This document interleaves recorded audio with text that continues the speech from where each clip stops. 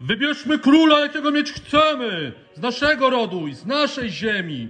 Królewnę Annę Jagielonkę, a naszej pani damy męża doświadczonego Stefana Batorego. Anno Jagielonko, koronuję Cię na króla Polski w imię Boga i dla dobra ojczyzny.